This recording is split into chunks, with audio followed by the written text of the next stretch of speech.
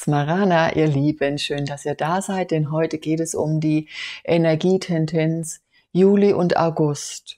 Und da ist was los, ich kann es euch sagen, es ist die Zeit der Extreme, es knistert sozusagen richtig. Doch bevor ich jetzt anfange, möchte ich euch gerne mal mein Hintergrundvideo zeigen, denn das ist so ein schöner Wasserfall und dazu stehe ich jetzt mal auf.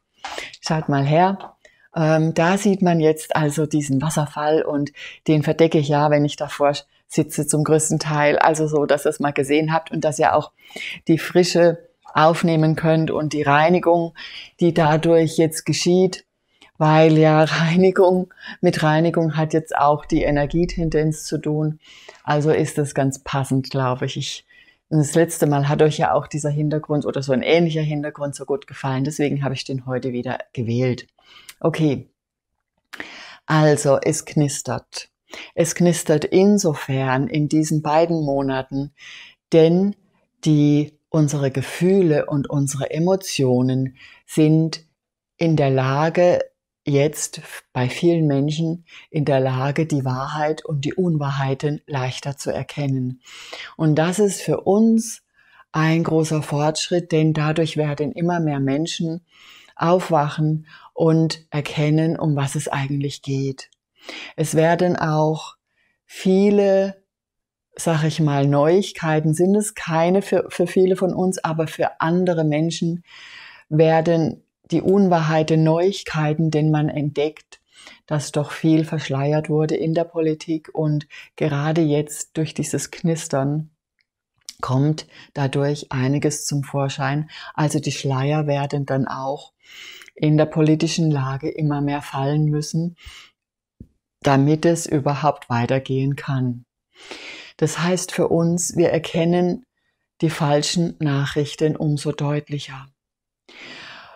Und es ist wichtig für uns, dass wir dennoch durchhalten, dass wir über unsere Gefühle, ähm, auch wenn wir es erkennen, dann uns ja auch anders entscheiden und dem Ganzen eine neue Richtung geben können.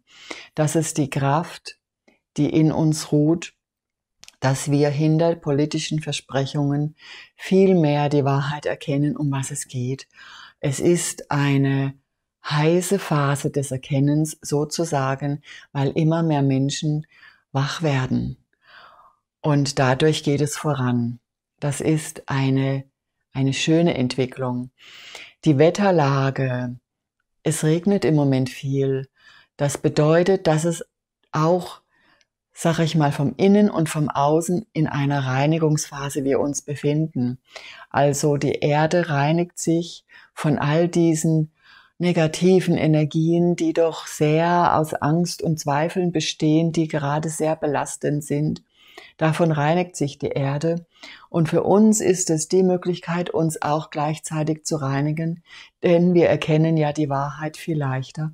Und von daher fällt dann einfach dieses falsche Bild, diese falschen Versprechungen, das fällt dadurch von uns einfach ab. Und ihr wisst vielleicht oder ihr fühlt vielleicht, es gibt sehr viel zu reinigen. Das ist insgesamt ein Grund zur Freude, denn diese Reinigung bringt ja eine neue Klarheit. Und mit dieser neuen Klarheit erkennen wir, die Dinge, auf die wir achten sollten. Es wird uns mehr bewusst, was wichtig ist für uns persönlich, für unsere Familie, für die Freunde, für die Umgebung und dann für das ganz Große, für die Politik. Also diese neue Klarheit, die durch die Reinigung entsteht, hilft uns genauer bei den Debatten und bei diesen ganzen Dingen, die eben von außen auf uns zukommen, die eigene Klarheit zu bewahren. Und diese Klarheit gibt uns dann wiederum Kraft, unseren eigenen Weg zu gehen. Und das ist sehr, sehr wichtig. Denn die Erde und die Menschen, von der Energie her gesehen, die möchten ja gerne in die göttliche Ordnung kommen und dann den Weg ja in die Freiheit, in die höheren Dimensionen gehen, raus aus der Dualität kommen. Und das wird in diesen beiden Monaten vielen Menschen klar und es werden wirklich immer mehr Menschen sich aufmachen, auf diesen Weg zu gehen. Also wird insgesamt die Spiritualität gestärkt. Natürlich gibt es immer noch die Kämpfe zwischen den zwei Extremen.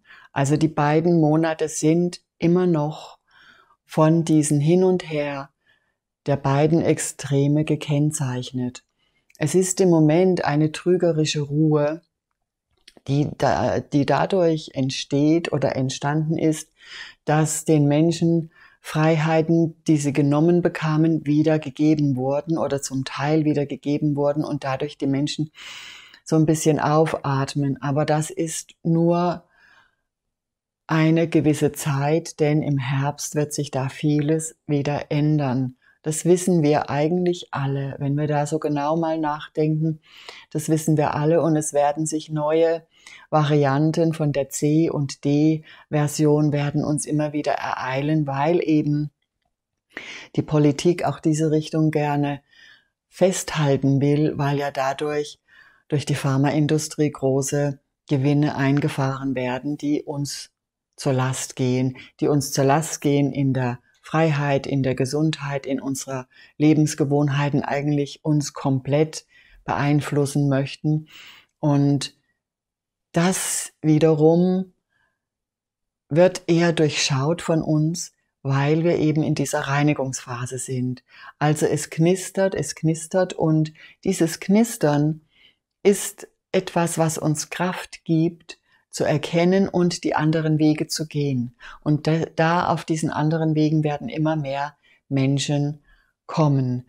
Und all dies hat eine große Form der Heilung. Dies bringt ganz viel Heilung für uns, denn die Unwahrheiten, sie kommen ja ans Licht, sie werden immer mehr ans Licht kommen und auch was die ähm, Impfstoffe betrifft, auch da wird noch sehr viel Unwahrheit an, oder die Wahrheit eigentlich, was dahinter steckt, wird sich alles aufdecken. Und bloß dann wird es für viele ein bisschen zu spät sein, weil ja, ja schon viel getan wurde, wenn sie sich eben da reingegeben haben in diese Energie. Ähm, aber dennoch wird es Leuchtblicke geben und Erleuchtungen geben und dadurch wird sich das Licht stärken. Es ist wichtig zu wissen, was für ein Ziel man hat. Und das wird sich in, innerhalb diesen beiden Monaten für viele Menschen herauskristallisieren, welchen Weg sie tatsächlich gehen möchten. Und es ist eine Prüfung, kann man sagen, der eigenen Ausdauer. Wie lange gehe ich meinen eigenen Weg? Wie lange lasse ich mich noch ähm, einzwängen? Wie lange möchte ich jetzt endlich ausbrechen? Wie, wie möchte ich reagieren? Das wird ein wichtiges Thema werden. Vor allen Dingen dann, wenn ja im Herbst die zweite heiße Phase eintritt, wo wieder ganz viele Einschränkungen kommen werden. Dazu ist noch zu sagen, dass das politische Lager im Moment es nicht mehr so einfach haben wird, Einschränkungen festzulegen. Es werden immer mehr Menschen aufwachen, die dagegen sind und auch der Druck von den anderen Ländern auf Deutschland wird einiges auslösen und wir können gespannt sein, was sich dann nach dieser heißen Sommerzeit ergibt und ob vielleicht dadurch, dass so viel aufgedeckt werden wird, gerade in der Politik, sich eine ganz neue Wendung für uns ergibt. Also es bleibt auch in dieser Hinsicht sehr spannend. Auf meinem Telegram-Kanal habe ich da noch mal was dazu gesagt zu diesem Video. Ihr findet auch unter dem Video in der Beschreibung den Link, wenn ihr da gerne mal rein möchtet. Es gibt auch eine Chatgruppe. Dort habe ich also noch mal was zu diesem Video gesagt, noch mal eine nähere Erklärung gegeben. Und wer sich dafür interessiert, kann da gerne mal hin und sich informieren. Es gilt darum, dass man diese Angststrukturen, die immer mehr aufgebaut werden, beziehungsweise die ja jetzt die andere Seite am Leben erhalten möchte, dass diese Angststrukturen uns nicht erreichen. Und das ist eben dieses Knistern, das, dieses untere Knistern in dem Unterbewusstsein der Menschen, was dazu hilft, die neuen Wege in der Spiritualität und in der Freiheit zu gehen. Wichtig wäre es jetzt auch, wenn diese Extreme immer so aufeinanderknallen, die im Moment natürlich etwas beruhigt sind, weil wir in die Sonne scheint, weil wir mehr Freizeit genießen können, die aber dennoch da sind, sollten wir die Zeit einfach mal nutzen, um uns selbst zu reflektieren. Was ist für mich wichtig? Wie verhalte ich mich? Wie gebe ich mich im Außen? Wie gebe ich mich im Innen? Und wenn man das dann alles auf eine richtige gerade Linie bekommt und seinen eigenen Weg entdeckt, so seine Ziele darauf dann auch sieht und seine Führung erkennt. Also es ist auch eine Zeit, in der wir unsere eigene Führung erkennen und uns dann dieser Führung immer mehr öffnen werden. In dem Moment geschieht eine ganz große Heilung, denn du wirst erkennen oder viele Menschen werden erkennen, dass sie es wert sind und dass sie ganz wertvoll sind. Und mit dieser Kraft der Selbstbestätigung und auch der Selbstliebe, die ja dadurch wächst, werden viele Menschen einfach zu leuchten beginnen, kraftvoll werden und immer mehr Dinge hinterfragen. Und das wird sich immer auf noch mehr Menschen ausbreiten. Also es ist etwas im Gange, was uns viel positive Energie bringt und auch unser Vertrauen stärkt, dass wir unseren Seelenweg noch genauer erkennen können und dass wir auch unseren Seelenpartner, wenn ich jetzt mal auf diese Zweierbeziehungen eingehe, dass wir auch dadurch, durch diese neue Klarheit, durch diese Reinigung, die gerade geschieht, unsere Seelenpartner leichter erkennen werden. Und wir werden auch in uns erkennen, was es noch braucht, dass die Seelenpartner sich treffen. Also da werden auch noch Klarheiten kommen und es werden sich auch noch Dinge lösen in der speziellen persönlichen Entwicklung, die uns dann frei macht, die auch einige Blockaden löst, die uns vielleicht noch zurückhalten, den Seelenpartner zu finden und dann da ein neues Leben zu beginnen. Das ist also alles in dieser Zeit in Wallung, in Arbeit und je nachdem, inwieweit sich die Menschen öffnen können, wird es für verschiedene Menschen eine Zeit der Erfüllung werden, eine Zeit der Klarheit und der Erfüllung und der Heilung und der Erkennen, des Erkennens, du bist wertvoll, du bist es wert und die geistige Welt ist da und unterstützt dich. Das ist ein wichtiger Aspekt und je mehr Menschen dies erkennen, umso mehr kann sich die positive Energie einfach ausbreiten und uns schützen, schützen vor all diesen anderen Energien in der Dualität, die ja dazu dienen sollen, die Menschen einzuschüchtern und klein zu machen.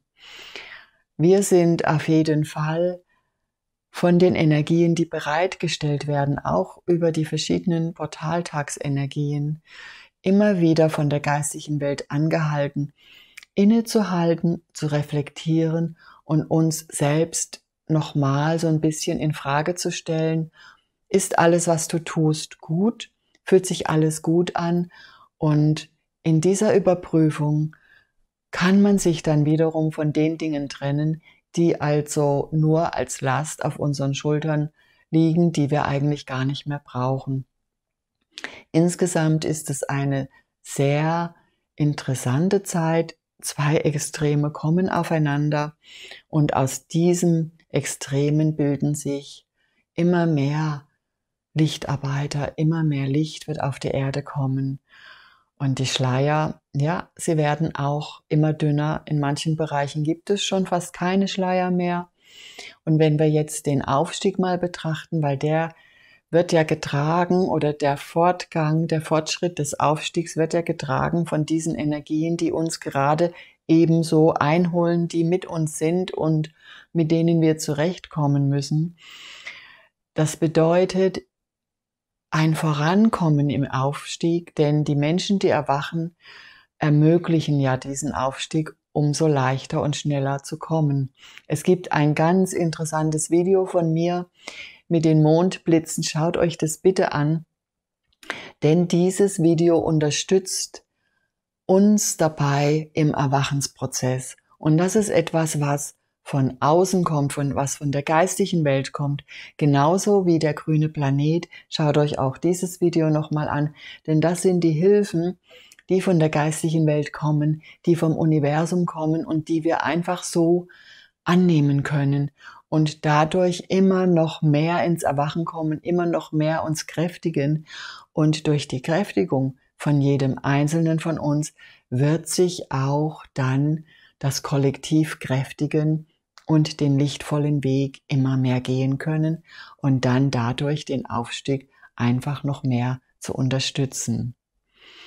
Ja, ihr Lieben, und jetzt dachte ich, machen wir eine kleine Meditation, um dieses Licht in uns nochmal zu stärken und um uns auch klar zu werden, was wir eigentlich wirklich wollen und um diese, diese Last, die wir noch tragen, dass wir das alles jetzt dann in dem Channeling oder was es eben werden wird, dass wir dies loslassen können.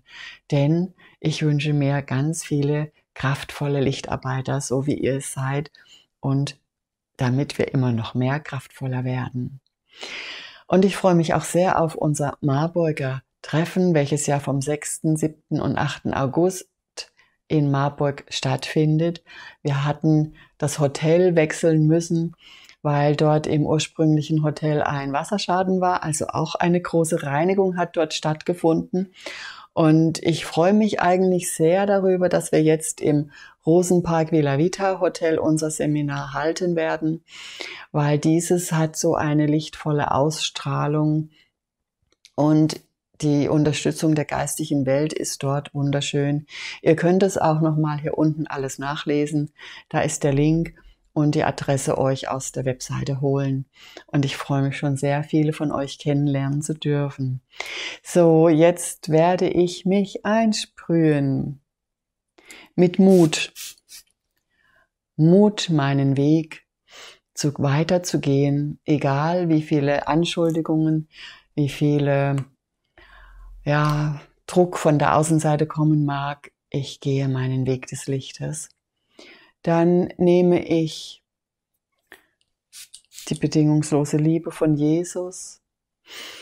Die soll uns heute mal begleiten. Und die 909. 909 bedeutet die Vollkommenheit in der höchsten Dimension.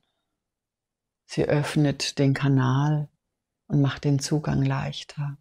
Ich bin jetzt schon verbunden und wir werden gleich beginnen.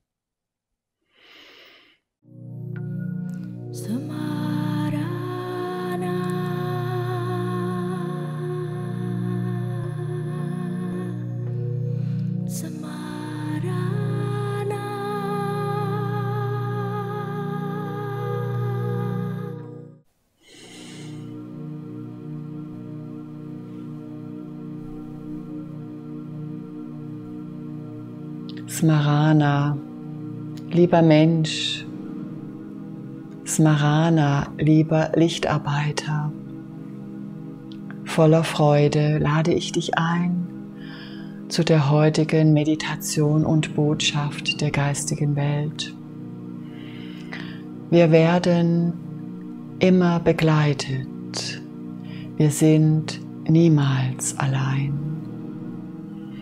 Wir sind stets verbunden mit der göttlichen Liebe, welche uns führt und trägt.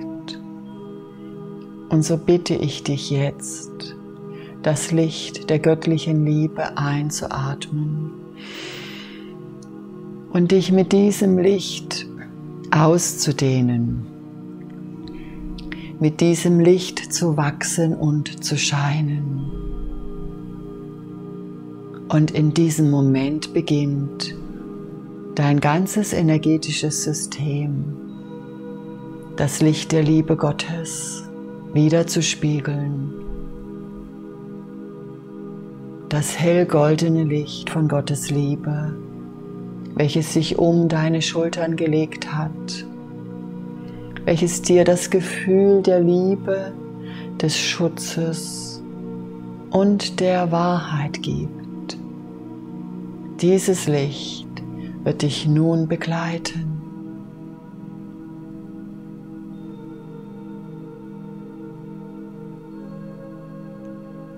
Und so spricht Gott zu dir.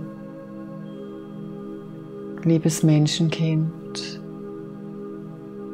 vertraue deiner Seele. Vertraue deinem Herzen. Und erkenne deinen Weg.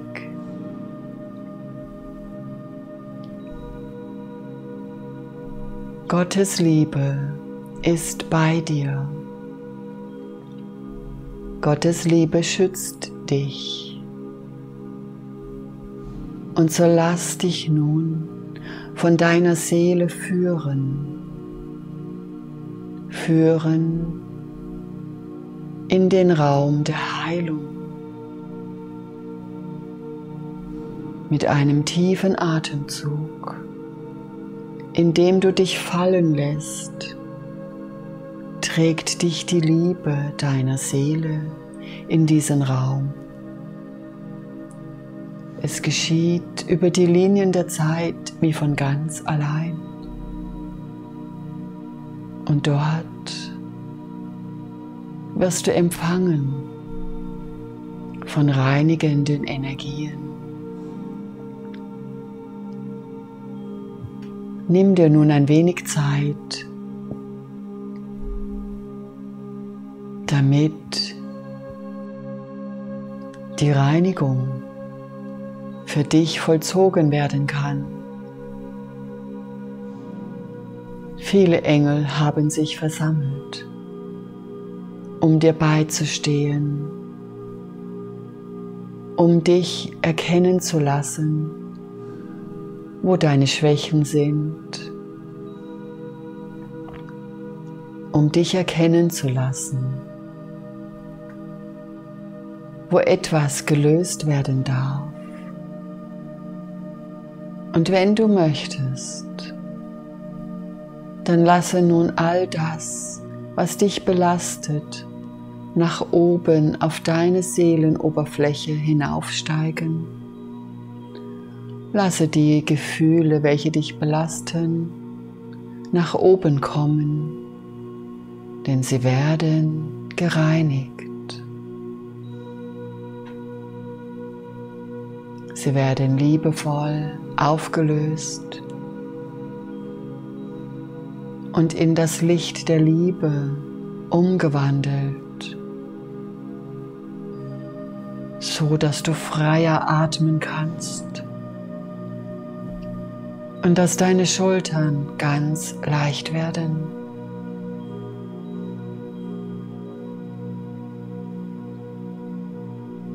Lasse alles los.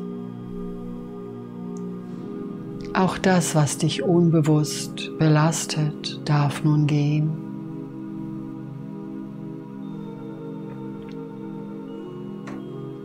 Denn nach der Reinigung wirst du in den Spiegel der Klarheit schauen.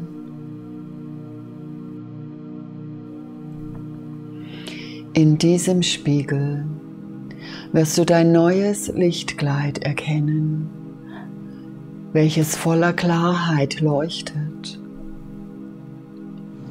Und in diesem Spiegel wirst du auch deinen Seelenweg erkennen und die Richtung, in welche du gehen möchtest, solltest, welche die gute Richtung ist, das wirst du ganz tief in deinem Herzen spüren. Und auch jetzt in diesem Moment kannst du deiner Seele eine Frage stellen. Du wirst ein Zeichen erhalten.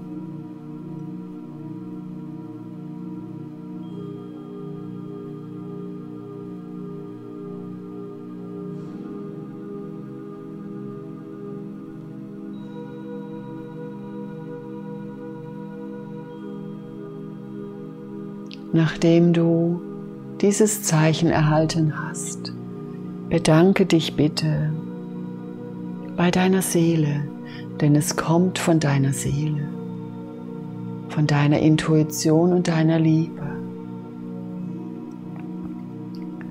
Und ab jetzt begleitet dich die neue Wahrheit, das Vertrauen auf deinen Weg und die Kraft, das Licht weiterzugeben und zu erkennen, was gut und richtig für dich ist.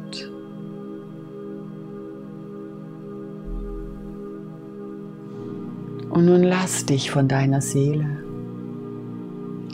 wieder zurückbringen in dein Hier und Jetzt, in deine Dimension und spüre die neue Klarheit, die du trägst und spüre auch Gottes Liebe, denn sie ist immer noch bei dir. Sie wird dich immer begleiten. Und dann nimm dir so viel Zeit, wie du benötigst, um langsam wieder in das Hier und Jetzt zurückzukommen.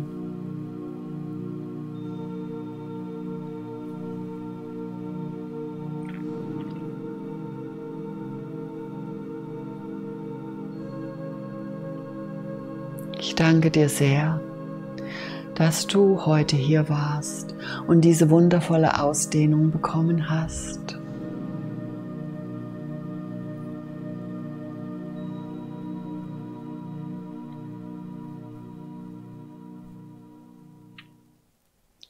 Ja, meine Lieben, für mich war es so richtig schön. Ich fühle mich also total ausgedehnt und angenommen und geliebt. Ich danke dem lieben Gott, unserem Schöpfer, für die wundervollen Energien, die uns zur Verfügung gestellt wurden. Und ich wünsche euch innerhalb der nächsten zwei Monate, Juli und August, ganz viel Kraft und Klarheit, das Licht kennt seinen Weg und die Wahrheit wird sich uns zeigen. In diesem Sinne alles Liebe für euch. Bis zum nächsten Mal. Tschüss.